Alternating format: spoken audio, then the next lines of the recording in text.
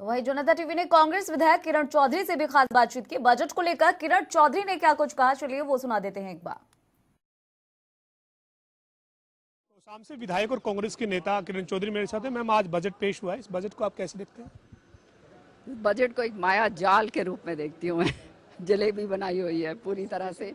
जैसे आप देखिए स्टेट की डेट लाइबिलिटी जो है वो 2020 21 के अंदर one lakh ninety eight thousand seven hundred crore जो है ये डेट कर्जा कहेंगे ये कर्जा डेट लाइबिलिटी जो है कर्जा जो है वो इसके ऊपर इतना है।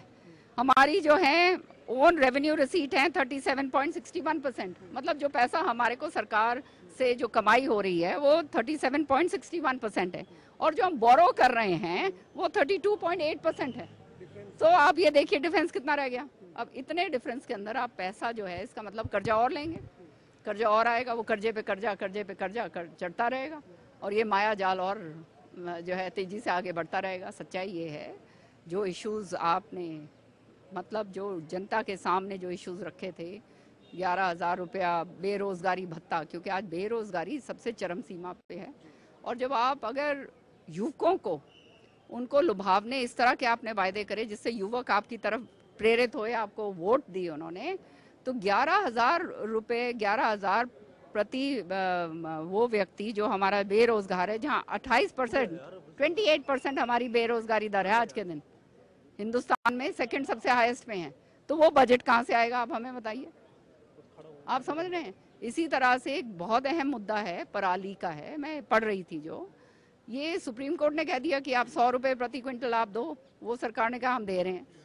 दे रहे हैं। तो वो सरकार की उपलब्धि नहीं है वो तो सुप्रीम कोर्ट के कहने पे कर रहे हैं। आपने ये बताना चाहिए था कि एक इतना अहम पर्यावरण का मुद्दा है इसके ऊपर हम क्या करने जा रहे हैं जिससे सरकार अपनी पराली को आसानी से डिस्पोज ऑफ़ कर सके?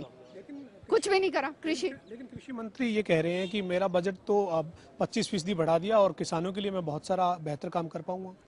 अब कृषि मंत्री जी तो कल भी जो आपने देखा गन्ने किसानों के लिए क्या बात उन्होंने करी तो कृषि मंत्री जी की बात के ऊपर तो अब मैं क्या बोलूँ? सच्चाई ये है कि ये सारा का सारा वो जो है ना जुमलेबाजी है और वो सामने आई जाएगी। अनिल विज गृह मंत्री कह रहे हैं कि हमने जो सीमा है निर्धारित जो सीमा है उसी में ही उतना ही कर्ज लिया हुआ है और जीडीपी बढ़ रही है उसका कांग्रेस ज़िक्र नहीं कर रही। ये तो नेचुरली बढ़ेगी। आप जो है उसके बराबर का जो है घाटा आएगा उससे डबल घाटा भी तो साथ में आएगा उसकी बात क्यों नहीं कर रहे आप?